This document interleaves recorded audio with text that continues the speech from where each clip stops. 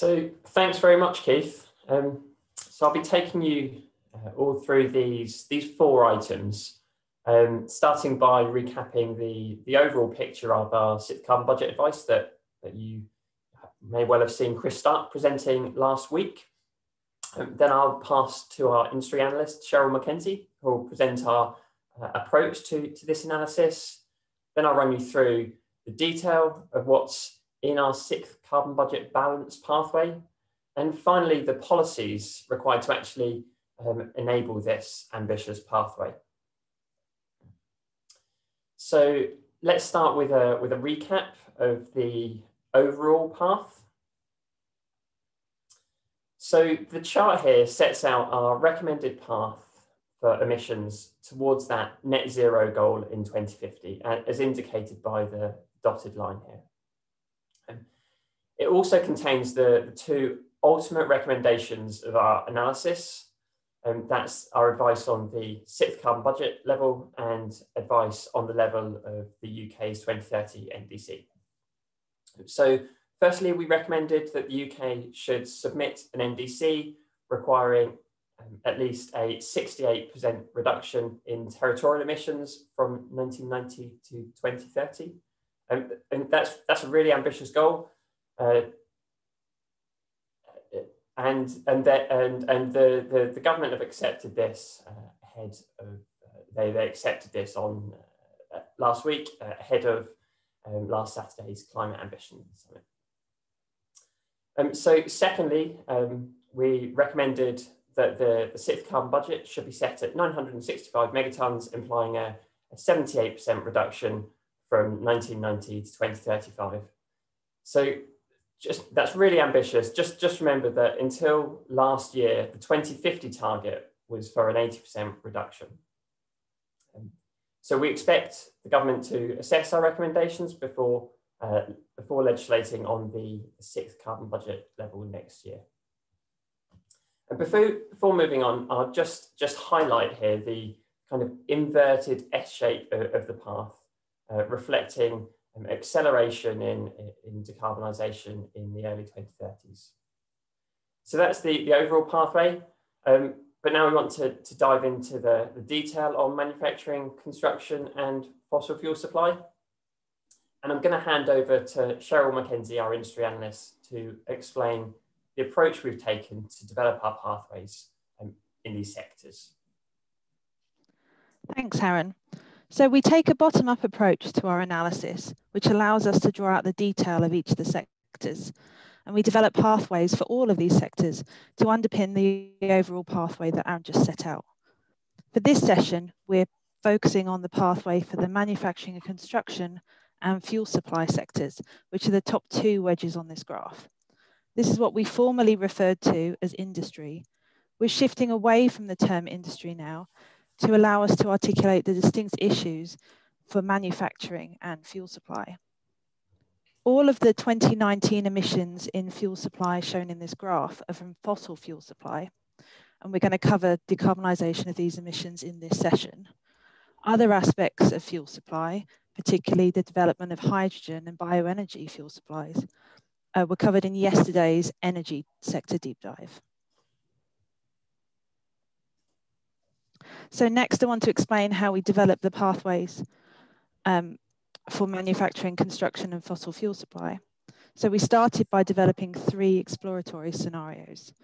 These describe different potential future worlds.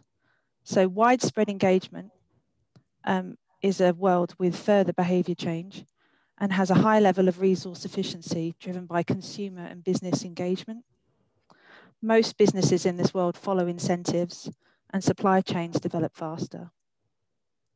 In the widespread innovation scenario, fuel switching and CCS show big reductions in electricity and electrolysis costs and higher CCS capture rates. Resource efficiency is at a moderate to high level, which is driven by innovative techniques and business models. The headwind scenario has moderate levels of resource efficiency and businesses that are resistant to change and prefer to retrofit rather than refit despite incentives. There are also lower cost reductions in this scenario. Tailwinds takes our most optimistic assumptions about the future world. This scenario reaches net zero by 2042 across the economy. Our balanced net zero pathway is a pathway that underpins a six carbon budget. It takes a balanced mix of assumptions about the future and keeps our options open. The balanced pathway is consistent with climate science and our international circumstances, and we need deep reductions to keep that 1.5 degrees in play. It's especially important going into 2021 with the UK leading COP26. So now I'll hand back over to Aaron to go through the changes that are involved in our balanced pathway. So, so thanks very much. Um, thanks very much, Cheryl. Um, so Cheryl's introduced you to the, the balanced net zero pathway, uh, and I'd like to take you through the, the detail of, of what it can, contains. And, and as Cheryl described, we'll, we'll split this between uh, manufacturing and construction, firstly, and fossil fuel supply, and treat those, those two separately. So, so first, um, manufacturing and construction. And here's the, the balanced net zero pathway for, for this sector in, in one graph.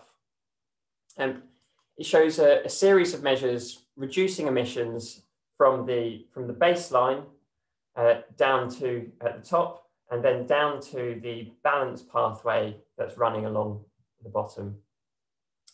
Uh, it requires manufacturing construction emissions to be reduced by 70% by 2035 by 90% by 2040. And that's from 2018 levels.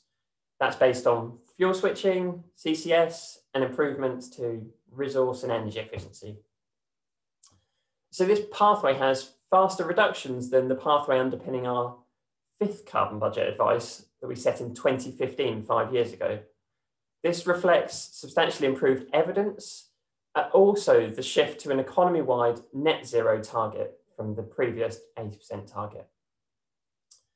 If you in, include the uh, negative emissions that come as a result of BECCS that, that's partially shown in the light green wedge here, then the pathway does in fact uh, reach net zero overall, which is, is, is pretty impressive for, for a sector um, that, that's often been uh, referred to as hard to decarbonise. So let me take you through the pathway and let me start with the, the, the early years.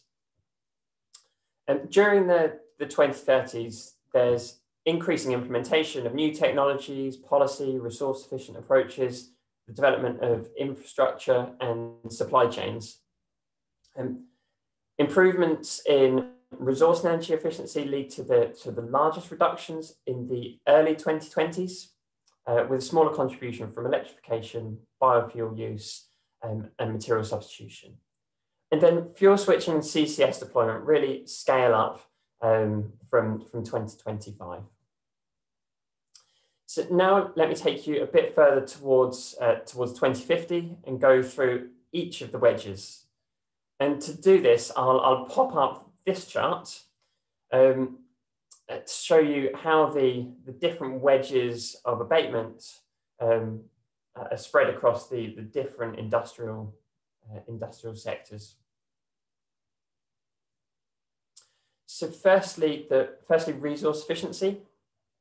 Uh, resource efficiency abatement gradually increases from 2020 to 2035. Uh, the category includes a range of different measures, including reducing the amount of material uh, used by optimizing designs, um, for example, in buildings, um, increasing recycling and reuse, including in construction, in, increasing the longevity of products, for example, electron using electronics for, for longer, increasing product utilization and sharing, such through car clubs and sharing leisure equipment, uh, and these measures we can see from the right-hand chart uh, reduce emissions most from the steel and cement sectors. And this analysis is based on work by the University of Leeds. Next is, is energy efficiency, which includes heat recovery, process up and equipment upgrades, and integration and clustering. Um, the paper sector sees the, the highest fraction of abatement from energy efficiency uh, as a result of clustering to reuse waste heat from other industrial sites. Uh, this analysis is based on the 2015 uh, Joint Industry and Government Roadmaps to 2050. Next is the two, two, well, the two largest wedges, also the, the largest sources of fuel switching, that's electrification and hydrogen. And we've done some really detailed work on, on these options as well as the CCS measures with, with element energy.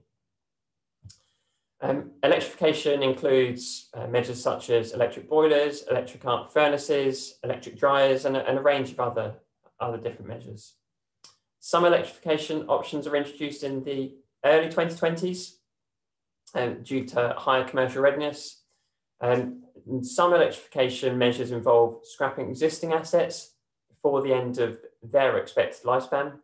This reflects preferable economics over the, over the alternative options uh, and the, the inability to, to retrofit some, some electrification options. Hydrogen measures uh, include hydrogen boilers, generators, mobile machinery and kilns.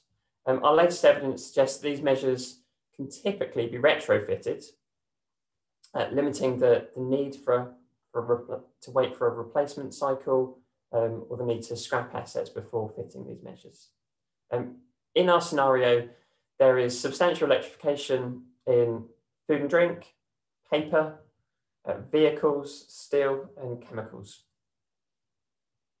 Um, and there's substantial hydrogen in off-road mobile machinery and chemicals.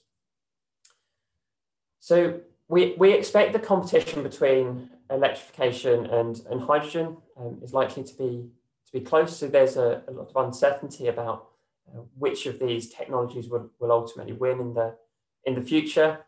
And our exploratory scenarios that, that Cheryl set out, set out um, more of this uh, uh, potential, more of these potential different future worlds, um, if you want to dig into those a little bit further. Um, but uh, what's key here is that developing both options will be uh, important. So then finally, there is bioenergy use and CCS. Uh, bioenergy use is prioritised for sectors using bioenergy already, such as um, cement and pulp, um, or those with the potential to fit, uh, fit CCS. Uh, CCS is applied to, a bottom wedge is applied to fertiliser plants, half of the UK's integrated steelwork capacity, and processes where it's the only deep decarbonisation option available. This includes cement and lime, and ethylene production. So that's manufacturing and construction in, in quite some detail. Um, now I want to move on to um, fossil fuel supply.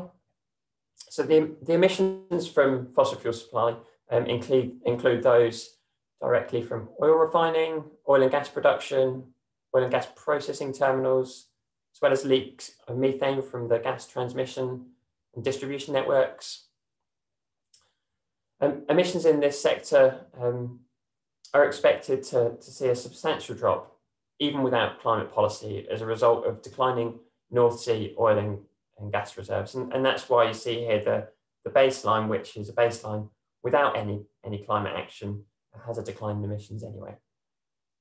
Um, including, uh, yeah, including this aspect, uh, our, uh, uh, uh, and, and the abatement measures, our balanced pathway requires uh, fossil fuel um, supply emissions to be reduced by 75% um, by 2035. That's from 2018 levels.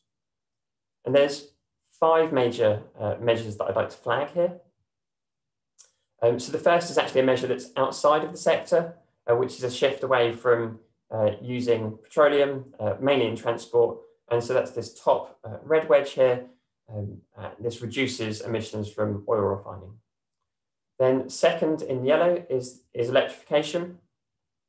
Um, in our balanced pathway, this includes electrifying oil and gas platforms by collecting them, connecting them to uh, the electricity grid or to offshore renewables.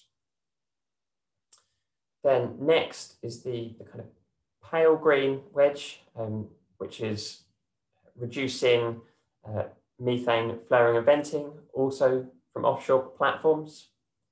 And then similarly is the, the, the kind of light, light blue wedge, uh, which is reducing leaks of methane from the gas transmission and distribution networks by improving monitoring of, of potential leaks and repairing the leaks. Then finally, um, CCS, which in this pathway is predominantly applied to oil refineries. So by 2050, very close to, to zero emissions. And in fact, the, the largest remaining source of emissions is from methane leaking from old closed coal mines.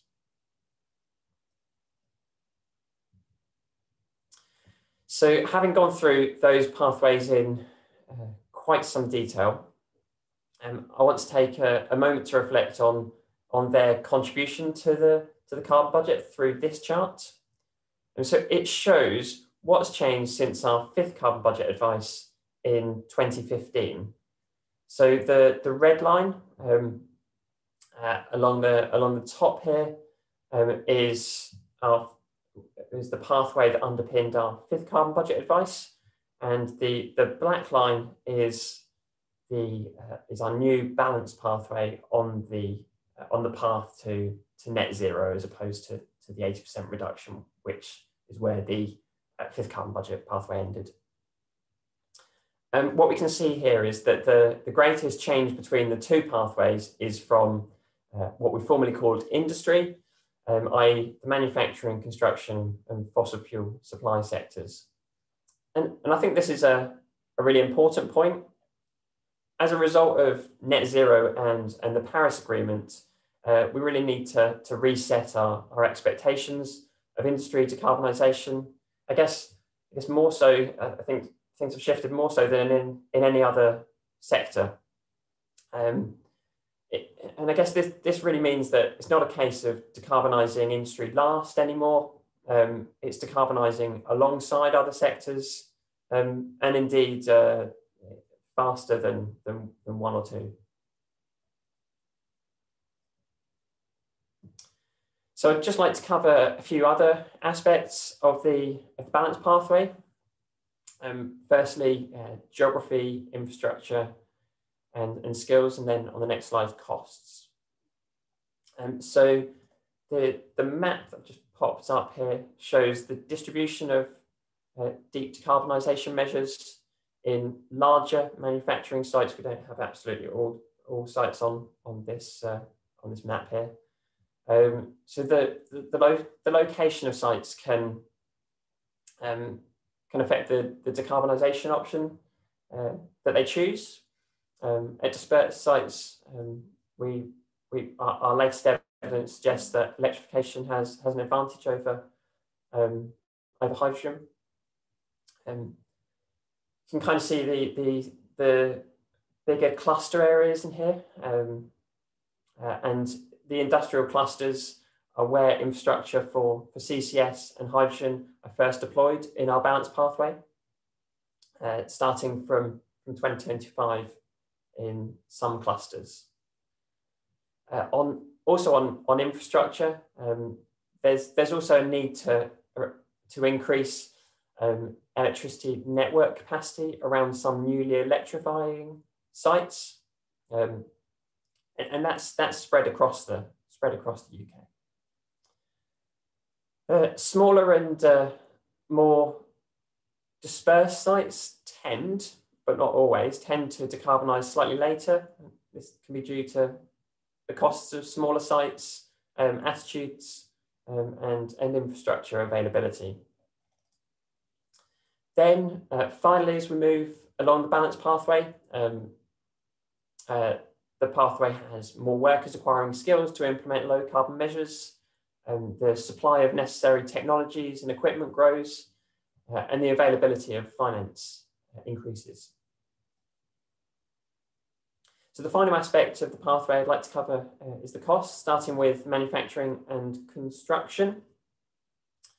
So the, uh, the, the kind of bluey purple line here um, reflects the additional capital expenditure required for fuel switching and CCS measures in the pathway, so the more expensive measures. And the, the red line here reflects the additional operating expenditure for the same measures. And then the, the kind of orangey line is the sum of these two. There's a, a fairly balanced split between uh, operating and capital expenditure, which, which differs from the story in, in, in many of the other sectors of the economy. And uh, based on, on these costs, uh, we estimate that the cost to, to the exchequer, um, if, if it were to, to fund uh, fuel switching and CCS in manufacturing and construction in a way that protects subsectors at risk of carbon leakage, uh, could be up to uh, £2 billion a year in 2030, perhaps a little less. So then adding, uh, adding in this line here for the net savings of energy and resource efficiency is actually a slight drop in the overall cost for de decarbonising manufacturing and construction. And then here I've added in at the bottom this yellow line, uh, which represents the cost of decarbonising fossil fuel supply, which is closer to around a billion pounds a year.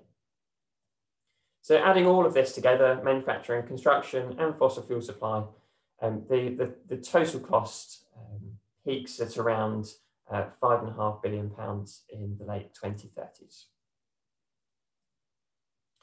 So I've run you through the, the pathway, but I haven't yet said um, uh, much about how this, this may be enabled. And we've, we've spent uh, quite some time uh, thinking about this. Um, and alongside our sixth carbon budget advice, we've also published um, three, three other reports. Uh, one by the Energy Systems Catapult, that's on policies to manage carbon leakage. One by the University of Leeds in CREDS, uh, the CREDS Research Consortium uh, on industrial decarbonisation policy. And one note on product standards um, from an independent consultant, Terry Wills, who has been working with us. Uh, we also gathered a steering group uh, to, to, to guide this work. So let me start with the area that I think we've uh, looked at the hardest, which is about maintaining competitiveness of industry while decarbonising. Um, this is a really uh, important issue for the committee um, and yet the committee's position is absolutely still that the, the design of policies to reduce UK manufacturing emissions must ensure that it does not damage UK manufacturers' competitiveness and drive uh, manufacturing overseas. This would uh, wouldn't reduce global emissions and, and would harm the UK economy. So I'm going to go through and sort of highlight um, some of our key policy recommendations. So uh, in terms of uh, policy uh, mechanisms to, to, to, enable this uh, goal of maintaining uh, competitiveness and also decarbonising, I think that uh, in the near term that taxpayer funding should be used to support deep decarbonisation in manufacturing sectors at risk of carbon leakage. this maps onto the £2 billion um, figure in 2030 that uh, I trailed in the, in the previous slide. Um, this, this support can provide a kind of dual benefit of, of managing carbon leakage, um, but also helping with early deployment, innovation, and bringing down the, the cost of capital. Um, however, so over time, it's likely that the Exchequer will not want to uh, foot the increasing bill of deep industrial decarbonisation.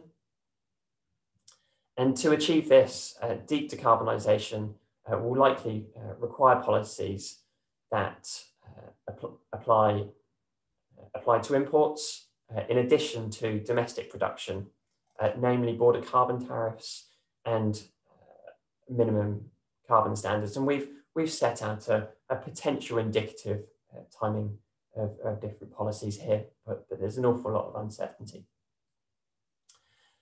Um, therefore, the, the committee thinks that um, uh, we need these options, these latter options to, to, be, to be made available, although the committee doesn't go as far as saying um, they should be implemented. Um, developing these, these policies will, will be challenging and, and likely uh, take a long time. So the committee's taken that into consideration. Um, yeah, but what we recommend is that um, uh, development of, of these policies should should begin uh, developing the option of, ha of, of having these policies should begin immediately uh, to, to enable the, the longer term options of either applying border carbon tariffs or minimum standards to imports of selected energy uh, intense products. Uh, this should um, this should include uh, developing um, carbon intensity measurement standards, mandating these are disclosed, and fostering uh, international consensus around trade policies through the G7 and COP presidencies. Um, the next set of, of policies is around de delivering key measures to enable fuel switching and CCS. The committee recommends that the government should establish funding mechanisms to support operational and capital costs of both electrification and hydrogen in manufacturing.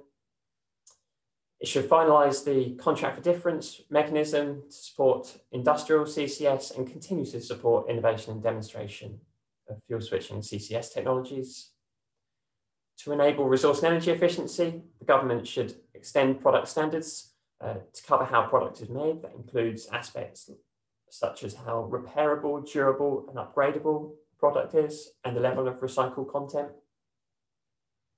It should also work towards introducing a mandatory minimum whole life carbon standard for both buildings and infrastructure. There are several cross-cutting economic issues that need addressing, um, mostly around market mechanisms. Uh, to address these, the committee recommends uh, that the government should create a clear incentive for uh, non-traded manufacturing. Those are the sectors not covered by the, the, the, the, well, the new UK ETS that we now know it will be.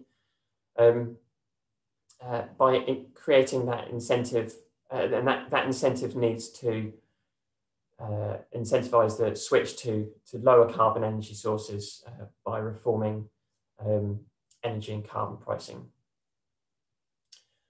We also need to see a strengthening of, of carbon prices and taxes on manufacturers. At current levels, they, they won't be sufficient to enable the, uh, the balanced pathway. Uh, Government should also reform electricity pricing to reflect the, the much lower costs of supplying low carbon electricity in the mid 2020s and beyond. And it also needs uh, to address manufacturers' need for, for, for very short payback periods, um, either through loans or grants, uh, potentially involving the, the new National Infrastructure Bank. There are also some crucial supporting policies required on infrastructure, jobs and skills. Uh, on infrastructure, the committee recommends um, that uh, there are at least two uh, CCS clusters established in the mid 2020s, at least four by the, the late 2020s, and further clusters around 2030. Uh, government should work with the minerals industries to develop a detailed joint plan um, for CO2 transport from dispersed sites. And it should prepare to make decisions about whether initial areas of the gas transmission and distribution networks should be converted to hydrogen. It should also plan for a potential increase in large localized network reinforcements for manufacturers. Uh, on jobs and skills, um, the committee recommends that uh, industrial decarbonisation policies are, are, designed in a way that creates and supports jobs, especially in regions uh, with reliance on, on industrial jobs and, and prompt award of, of existing um, industrial decarbonisation funding can, can help with this and help with the recovery. Um, so all of all of the um, above recommendations will need to be wrapped into a clear and ambitious plan for decarbonisation of manufacturing construction, in particular through um, its through the, through the government's industrial decarbonisation plan, a strategy that's, that's planned for, for spring. And this is uh, crucial to, to really bring momentum following the, um, the step change in, in ambition for industrial decarbonisation that's necessitated by net zero. Um, uh, on this ambition um, should include uh, setting out how policy will enable deep decarbonisation while maintaining um, competitiveness and indicate ambitions by setting targets such as for oil for ore-based um, steel making and cement production in the UK to reach near zero emissions by 2035 and 2040 respectively. Uh, plans also can't emit areas, so um, decarbonisation of off-road mobile machinery uh, should be covered somewhere in the government's set of strategies. So finally, um, covering policy on uh, decarbonising fossil fuel supply, although some of the uh, some of the previous recommendations have have, have cut across um, these all of all of industry. Um, so these these further uh, recommendations um, most likely sit within the uh, the the North Sea or should sit within the North Sea transition deal, which which the government is is uh, planning.